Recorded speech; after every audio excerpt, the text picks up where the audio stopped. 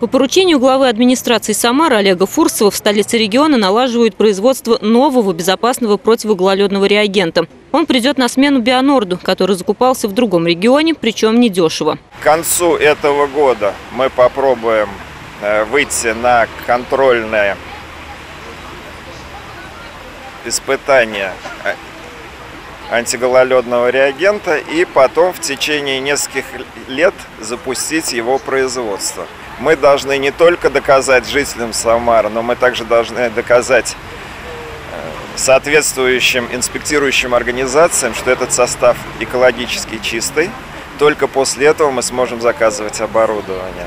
Прорыв в экологии демонстрируют и производители колодезных люков. Их создают из переработанного вторсырья, полимеров и песка. Каждый может выдержать до 25 тонн. Сам же весит около 70 килограммов. При этом не поддается никакой коррозии. Они мне интересны сборщикам металлолома, так как в последнее время участились случаи, то, что просто воруют крышки от чугунных люков.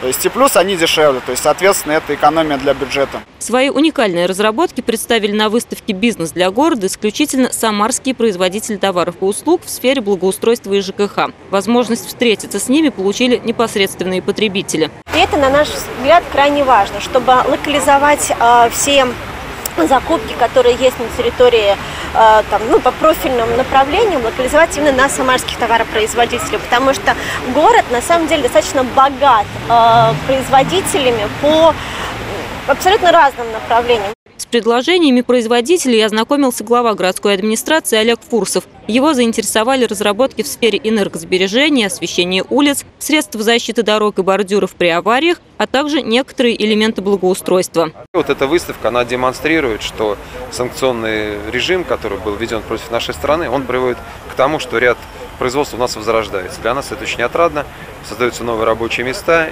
Городские власти ищут возможность сделать город чище, красивее и комфортнее для горожан в самые короткие сроки. Такую задачу поставил в своем послании губернатор Самарской области. Некоторым из участников первой узкоспециализированной выставки рекомендовали принимать участие в аукционах. Марина Матвеевна, Сергей Баскин. События.